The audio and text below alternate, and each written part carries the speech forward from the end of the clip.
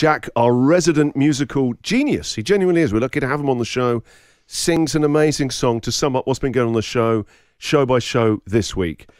You sadly, you just you just couldn't do it. It's weird doing writing a song because you. I went down to sit down to write it, and it just didn't come to me. No, no, it's fine. So what I've done, you know those uh, two voicemail messages you left? Oh no. Uh, I've added some of my own lyrics to them, and we've made this. Hey man.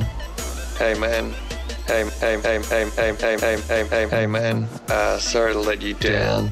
I think I'm going to throw this um, weekend review song in the bin, in the bin, in the bin, in the bin, in the bin, in the bin, in the bin, bin, bin. It's not really there at the moment. Slugging away at it for the last two or three hours. I just can't get a grip on it. Sorry about that. Bianca, Bianca, Bianca's got the flu. Got the flu. Got the flu. Got the flu. Flu. I think I'll sadly not have it ready for tomorrow. Sorry about that. Just a little burnout from doing the podcast after the show today. And Boo-hoo, my name's Jack. I've been all busy wizzy with Hamish and Andy. sorry about that.